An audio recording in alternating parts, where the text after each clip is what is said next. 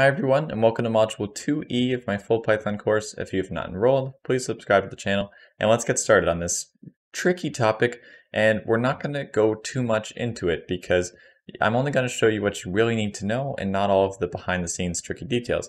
If you want to understand a little bit more, then that's totally okay. I would look up terms like pass by value in Python versus pass by reference or versus object reference in Python, and you'll get the kind of information that you want to read about. So we're going to explain it with an example. So say we had a function, just for now, it's going to take in a list. Okay, so define f of list, which is going to try to change the first element in the list. So it sets list sub 0 equal to 5. Well, then if I had some list, maybe call it L, equal to 1, 2, 3, and then I called f of L on it, f of L and then I ask what L is afterwards, then that does change the first value. Okay, so we passed L in here, so then list is basically this list here, and then we set list sub 0 equal to be 5. Okay, so that means change L here to be 5. And so L is 523. Straightforward, right? Well, actually, it turns out it's a really tricky concept here. I'm going to show one step up, which is maybe changing the variable called list equal to something else. Maybe it was equal to 4, 5, 6. And then changing list sub 0 to be 5.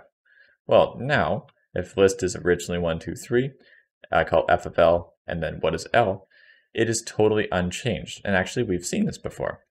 If we actually change this exact same variable name, well, list was 1, 2, 3, except now I'm not changing this thing to be 4, 5, 6. I'm not changing L over here to be 4, 5, 6. I am saying in this function, this variable is going to be 4, 5, 6. And therefore, if I do list sub 0, then if I set that equal to 5, that changed over here. This thing is now going to be 5 in memory, except that doesn't matter. That's not L, and so nothing actually happened to L outside.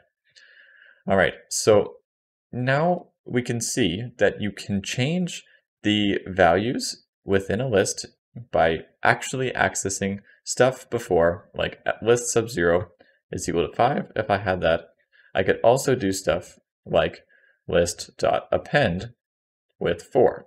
Okay, so I can I can change L again like this dot append.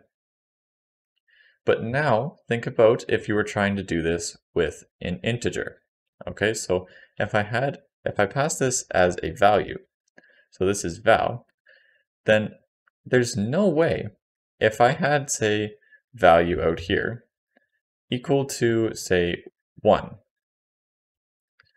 and I call f of l, regardless of what I do over here, there is nothing I can possibly do to change the value of val of value here. Okay, I cannot change this value. No matter what I do, with value, it is going to be 1. Because I can't do stuff like val sub 0, well that doesn't make sense because it's an integer, and I can't do stuff like dot append, well that doesn't make sense. And I, if I even set val equal to something else, well all that we just saw that all that does is overwrites the variable name in val. And so no matter what, value here is gonna be 1. So it doesn't matter what I do, say set this thing equal to 5, it's still going to be 1. One other concept here, go back to the list thing for a moment. If we have f of a list again, and we set x equal to this list, okay, x is some new variable name, and we're setting it equal to that thing. And then what I do is x sub 0 is equal to 5.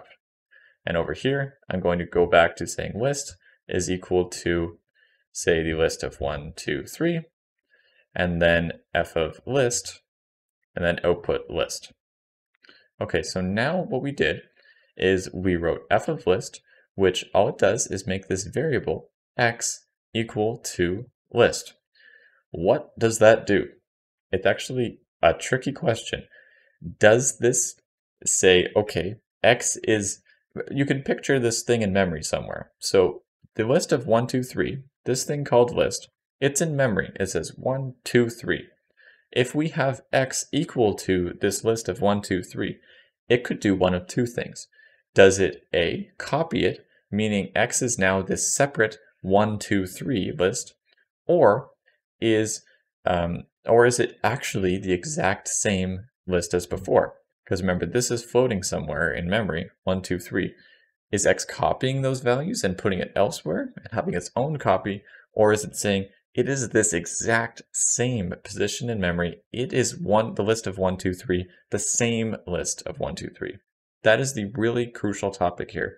And so the answer can be shown just with an example. If you run this, I am saying the list of one, two, three, then I call f of list, and then I ask what list is.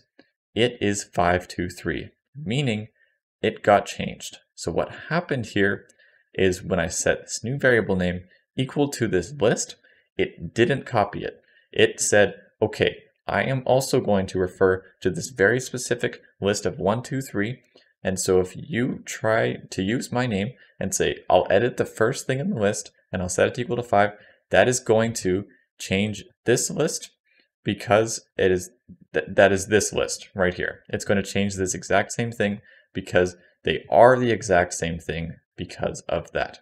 Sorry, I just realized that I didn't explain the title. So I said mutation and functions. Mutation is generally a term for the side effect idea, where if we have the list of one, two, three, then it is mutating. So this function mutates this list because it is actually changeable. So it is changing something of the content in here, as opposed to something that is immutable, which if I was to make this a tuple instead, and so this is why you would use a tuple, is if you really didn't want this thing to be able to be changed, then if I try to change it with this function, then what happens, and I know that I called this list even though it's I'm passing it a tuple, actually it turns out that, I mean, this is fine for the example.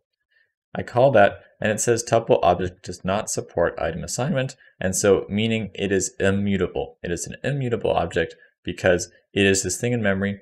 Once it exists, you cannot change it, you cannot mutate it, as opposed to a list, which is a mutable object. And we'll see more of this idea later. So that is the topic of today. If you want to understand more there, then again, read about uh, pass by reference, object reference, that kind of thing in Python. But that should be good for all of what we're going to do, and I will see you in Module 2F.